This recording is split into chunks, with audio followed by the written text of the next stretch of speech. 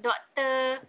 Umi Kalsum Zolkafli with her title Developing Digital Learning Resources Framework for Quantity Surveying Program in University Malaya. Please welcome Dr. Umi Kalsum. Uh, thank you, Professor Dr. Azhar.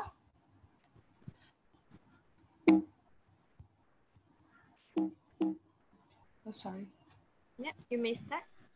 Uh, yeah, sorry. Okay. Assalamualaikum warahmatullahi wabarakatuh and salam sejahtera. Uh, my name is Umi Kasum binti Zulkafli. Okay, uh, and together with me there are other researcher which is Associate Professor Dr. Nohanim Zakaria, Surveyor Imran Arif Yahya, Surveyor Dr. Lu Xiao Chwing and Dr. Normadia Aziz. So today we are going to present our research outcome on the Developing Digital Learning Resources Framework for Quantity Surveying Program University of Malaya. Basically, my presentation outline consists of the introduction, the problem statement, aim and objective, methodology, and the outcome of the research. I'll start my presentation by giving the definitions of the digital learning resources. Okay, the digital learning resources refers to digital resources that engage students in learning activities and support student learning goals. For example, like applications, software, programs, or the websites. And digital learning resources do not include any hardware or infrastructure needed to use the digital resources. When we uh, proposed this research topic, at first we thought that digital learning resources is focusing only on the academic content tools. However, we are wrong. After doing a very extensive literature, we found out that uh, uh, the digital learning resources can be divided into three, which is digital academic content tools, digital productivity tools, and digital communication tools. Digital academic content tools cons, uh, con, uh, consist of the resources that encourage students to learn academic content and skills. Whereas for the digital productivity tools, is being used to plan, document, organize, and analyze content, and it does not contain any uh, academic content. Whereas for the digital communi communication tools, okay, uh, it being used because of uh, uh, it being used uh, due to for, for communication, collaboration, network, or pre, uh, present information. And also it does not have any uh, it does not contain any academic content and a little bit background about the uh, scenario that we are facing right now all over the world whereby the global disruption caused by the coronavirus disease affect walks of life and education are no exceptions. And due to the uncertainty of the pandemic educational institute need to shift to e to e-learning platform and modify the course structure and curriculum efforts are ongoing to continue the educational mission in university level. And the sudden help that the, in the education mission due to this pandemic lead to an intense and fast exploration and implementation of creative ways to continue delivery of educational content remotely and the educational institution in affected areas are seeking stopgap solution to continue searching where learning quality depends on the level of digital access and efficiency. So from the literature review, we come up with several issues whereby uh, in order for us to, uh, to create the problem statement, one of the issue is about the high expectation about the potential of the digital learning resources. And this is followed by the e-learning skill is not associated with classroom e-learning by Honan. And this is supported by Hutchinson and Woodward, uh, lacking of e-learning integration. And to achieve, according to Leila, to achieve majority of the course content to e-learning platforms and modify the course structure and curriculum.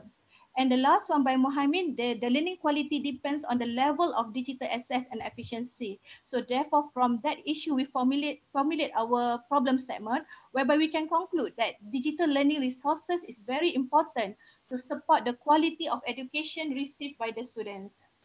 So this is the research aim, the research question, and the research objective, whereby our research aim is to develop the digital learning resources framework for quantity surveying program.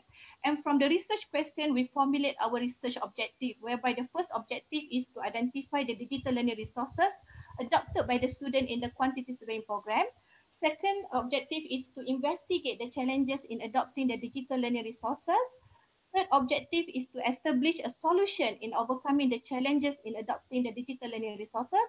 And the last objective is to develop a digital learning resources framework for quantity surveying program in University of Malaya. So this is the research method whereby we, there, are five steps involved, uh, starting from the literature review, which is the step one. In the literature review, extensive uh, literature being done on the digital learning resources whereby we need to identify the variable for the digital learning resources. And on top of that, the variable for the challenges and the solution need to be established too.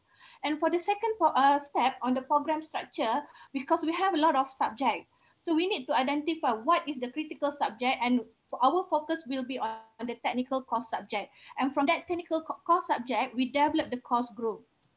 And step three involve the questionnaire development, whereby uh, the question will uh, that been developed from the literature review and the questionnaire survey being prepared uh, and being given to the students. Step four is on the data collection, whereby Google Form, Google Form and Excel sheet is being used. And the last step will be on the data analysis, whereby we are using the SPSS and descriptive statistic. So uh, uh, on the variable for the digital learning resources, because uh, like I mentioned before that we have three categories, uh, digital academic content tools consists of two variable references, resources, and online database. For the digital productivity tools, we have six variables, presentation and publication tools, text processing tools, report writing tools, data analysis analysis tool, virtual reality tools, and information organization tools.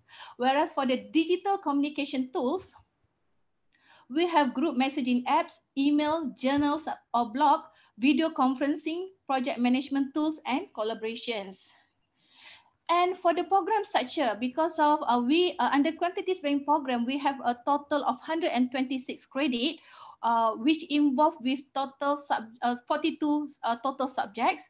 And out of 42, we have nine uh, university subject and uh, 33 faculty subject. So out of 33 faculty subject, we focus on the uh, technical subject, which is 24 subjects. And this is, if you look at, at the uh, structure of the questionnaire, okay, uh, there are four sections involved where, whereby it started with the demographic of the data and then followed with the followed with the digital learning resources in the QS program, whereby under the section two, okay, we have uh, group it and uh, to nine category, whereby every single category we ask about the digital learning resources that being used in that particular subject. And the uh, step three, uh, the section three, we involve with the challenges in the digital learning resources, and section four involved with the uh, solutions to overcome the challenges. Okay, the course group been divided into nine category. Uh, for the first category, uh, uh, the course group is on the measurement of quantities, whereby there are around five subjects involved in this category. For group two, construction technology, there are four uh, main subjects involved.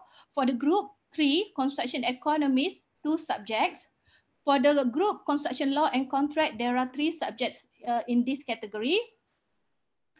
For the category five, professional practices, there are two subjects. For the category six, construction management, there are two subjects. And for the uh, group seven, building services, there are two involved with the two subjects. IT and computer, two subjects. Analysis of prices and costing, two subjects and populations okay we have around 128 students from the year 1 year 2 and year 3 and according to Krejcie and Morgan 1970 the population size of 120 to 30 required around 92 to 97 respondents. So therefore in this uh, research uh, we uh, we take the whole population as our sample. And the response that we receive is around 91 respondent and the response rate is 71.09%. And the, and the sample size was sufficient as the response gathered were above 30% as be mentioned by Sakaran and Boogie, Finkham, Yoon and Trumbo. So this is the data on the demographic whereby we have we have categorized into a female and female which semester years of study and knowledge on the uh, digital learning resources. Okay and this is the information we would like to know where did we, do the student get the information about the digital learning resources? And from this uh, questionnaire we found out that uh, the student get to know about the digital learning resources from their lecturers and their friends Okay, and this is the analysis on every category of the digi digital learning resources, okay? And we test it on the every single group of the subject offered in the quantity surveying program, okay?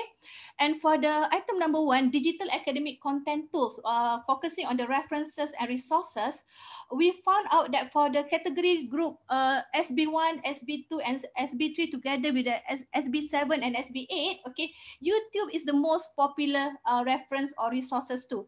And then for the other group, uh, uh, group subject, subject, okay, we've uh, found out that SB3, SB4, SB5, SB6 together with SB, SB9, okay, research ResearchGate is the most popular reference or resources for that particular uh, uh, group subjects, okay. However, we evaluate the whole things and we come up with the summary that uh, we rank it and we uh, uh, we found out that YouTube, UM Digital Library, ResearchGate, Academia, and JKR are the frequently visited website uh, by the student in the quantity surveying program. Okay, similar like the uh, for for the uh, result on the digital academic content tools on the online database, it was uh, found that uh, for the uh, course group uh, category SB1, they they more refer to they they would like they like to refer to saga journals, whereas for any uh, for others uh, course group, they ref, they they love to refer to Science Direct. And however, in the total, okay, uh, we found out that Science Science Direct, Springer, Emerald, Saga Journals, and Ibesco are the frequently visited online data, database for the QS program uh, by the students. And this is the information on the digital productivity tools on the publication tools. It can be seen here that PowerPoint online and Google Slide is the most popular thing being, that being used by the student in all of the subjects. And uh, uh, on top of that two particular uh, publication tools, okay, uh, they also use EndNote, Canva, Lincoln, and SlideShare, okay? And this is for the uh, result on the words and text processing tools, whereby, okay, for measurement subject here, we can see that Google Drive is the most popular tools, whereas for other subject, it is more towards on the Microsoft Word. So therefore, we conclude that Microsoft Word, Google Drive, and Google Document are the frequently used text processing tools for the QS program in UM. Whereas for the report writing, okay, uh, Turnitin is the most frequently used report writing tools for the program okay? And this is the information on the digital productivity tools on the data analysis, okay? And students love to use the Microsoft Excel and the Google Sheets. Uh, however, for one subject, SB8, one, one course subject, okay, uh, Revit is being used due to the nature of that particular subject because that subject is meant for the IT uh, subjects. And for the virtual reality software, this is we found out uh, something that need to be improved, maybe something that need to be informed to the student that they mm, uh, uh, not only that they can use the virtual reality in a measurement subject, but they can also use this virtual reality in any other subject, for example, in the construction technology or could be in the professional practice and so on. Uh, so however, the summary of the virtual reality uh, software, we found out that Unity Twinmotion and Unreal Engine 4 are equally used uh, virtual as a virtual reality software. And on the information on the organization tools, okay, most of the subject agreed to uh, uh, uh student uh, uh, like to use the Google Drive. And on the digital communication tools on the group message messages, okay, uh, apps, okay, so the WhatsApp is considered the most popular apps as compared to other uh, messaging apps. And on the emails, it found, uh, we found that Gmail is the, is the most frequent used email for the QS program in UM. And for the online journal blogs, only one responder referred to the uh, online journals, whereby it shows that online and project management tool is not that popular. However, for uh, the project management tool is actually is very good tools, whereby I think uh, lecturer might need to introduce about these tools to the student after uh, after these findings. Okay, on the video conferencing, it shows that Google Hangouts, Meet, and Zoom are the frequently used. Whereas for the collaboration tools, it shows that Google Documents and Quips uh, is the most frequently used uh, uh, as a collaboration tools. And on the challenges faced in digital learning resources, okay, uh, we have categorized the uh, challenges and we found out that the top three challenges is on the lack of skills to use the apps or software, okay, and suffer software problem due to uh, uh, lagging due to the heavy load and the lack of financial capacity. Uh, capacity. And one challenge be included by the responder whereby inability to access certain online resources, whereby that one we also take uh, into considerations. And on the solution to overcome the challenges, we found out that universities to, sub, to, to subscribe more software for the usage of lecturer and students uh, being ranked as a top ranking, okay? And this is followed by the proposed free classes for chosen software to provide guidance and improve skills, and then followed by the financial support from the government to purchase software.